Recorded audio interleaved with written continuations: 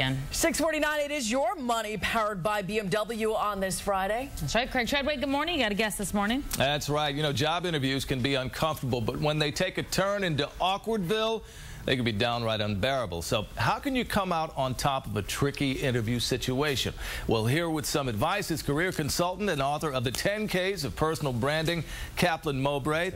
Welcome back. Thank you so much. Great to be back here. All right, let's get right to it. You're on an interview. You've got an interviewer with a difficult name, a name difficult to pronounce. What do you do?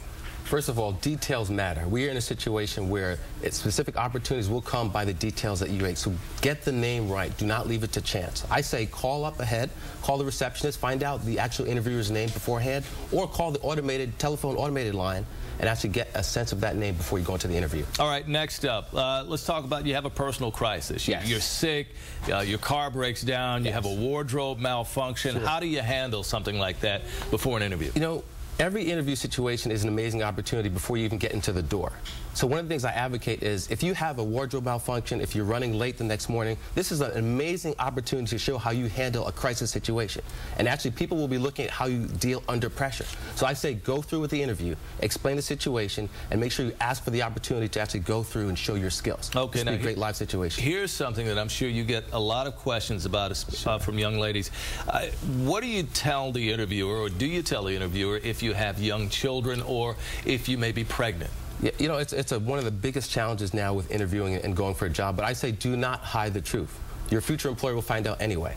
What I advocate is that you walk into that interview and you talk about the importance of, of workforce and, and supporting women in their careers. And actually, you talk about the company's policies. That way, you put them on notice that you support what they do and that you are here as a great candidate for that opportunity. So do not hide the truth. Okay, now there's been a lot of downsizing, people losing their jobs. Sure. How do you handle an interview if you've been fired from a previous job? How, how much do you talk about it? How sure. do you talk about it? You know, we're in an age where the economy has had several victims, people who are highly skilled who have been laid off because of the tough economy, and the tough job market. Mm. What I say is always put the context of why you left with what you learned. So it's okay to talk about if you left a job or even been fired for a job, but what's important is to talk about what you learned from that experience and how it positions you to be a great candidate for that next job. Okay, let's talk about uh, financial situations yes. right now. Yes. A lot of people, credit scores are not too good. That's right. Jobs check your credit scores. Now, yes. what should you talk about in terms of your credit uh, worthiness, or should you even talk about it at all? Well, if you have bad credit, I say don't discuss it. I say you don't want to, as a matter of, of, rule, you don't want to draw the interviewer's attention away from anything that focuses away from your skills to do the job at hand.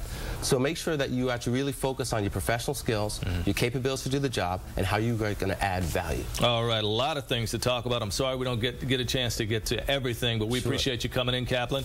Uh, for more career advice, you can check out the 10 Ks of Personal Branding. It's available right now, the 10 Ks of Personal brand, Branding.